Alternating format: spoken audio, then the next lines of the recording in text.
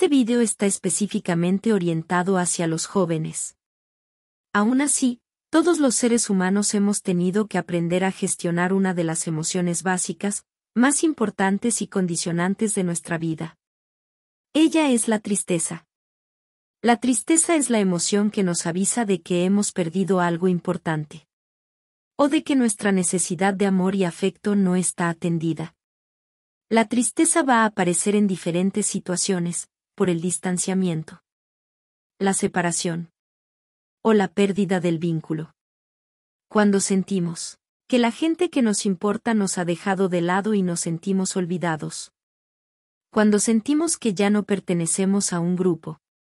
Surge también cuando no somos capaces de expresar o comunicar lo que verdaderamente sentimos. Los desengaños o el sentirnos defraudados, el perder la esperanza o la autoestima o el fracasar ante un logro importante también pueden generar este sentimiento. Pero la circunstancia que más nos puede afectar y generar un profundo sentimiento de tristeza es la pérdida de un ser querido. La tristeza va a hacer que busquemos a otros para consolarnos o buscar la soledad para recuperarnos de esa pérdida. Sea cual sea, necesitaremos de un periodo de duelo necesario para asimilar lo que hemos perdido. Unas veces será un corto periodo de tiempo y otros podrán llevarnos años. Esta emoción tiene dos caras muy interesantes, la primera es que a muchas personas sentir esta emoción le hace querer despojarse de ella lo más rápido que pueda, aunque a veces requiere tiempo. La otra cara es que existen muchas otras personas que parece que les gusta este sentimiento y es como si lo abrazaran y no les gustara desprenderse de él. Aquí hay que tener cuidado con el sentimiento de víctima que a muchos puede que nos guste, pero esto lo veremos más adelante. ¿Qué hacer para superar la tristeza? Podemos negarlo, podemos evitarlo, podemos mentirnos. Pero lo único que podemos hacer si de verdad queremos superarlo, es aceptarlo. Y enfrentarnos al dolor. A continuación te presentamos algunas técnicas para superar esta emoción. El llanto. Llorar nos liberará de mucha angustia. Y nos calmará nuestro estado de ánimo. Al llorar, estamos exteriorizando nuestro sufrimiento interior y esto nos aliviará cuando llevamos tiempo con una tensión generada en el camino para alcanzar un logro deseado. Al conseguirlo y liberar esa tensión podemos también generar un llanto de alegría o emoción y calmarnos de igual forma. A veces esta técnica funciona de forma contraria y solo sirve para seguir acordándonos de las causas de la tristeza, en este caso habrá que estar atentos a nuestras emociones. Y lo que nos dicen. La distracción, por ejemplo con las imágenes de este vídeo.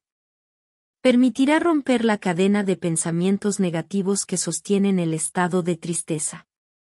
Si estas distracciones consiguen cambiar nuestro estado de ánimo serán más efectivas. Ejercicio físico.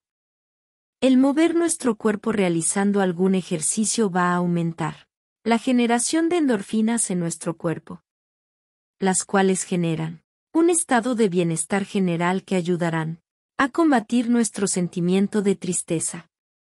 Realizar algún pequeño logro es generador de alegría y satisfacción, de ahí que, si nos ponemos pequeñas tareas y las vamos realizando, nos sentiremos mejor con nosotros mismos.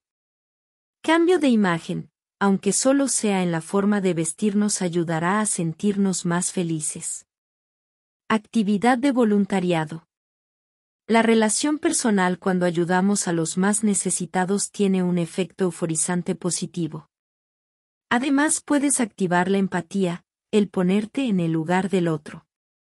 Además te recuerdo que, como dice la neurociencia, el cerebro es vago, no le gusta hacer nada, solo sigue órdenes concretas.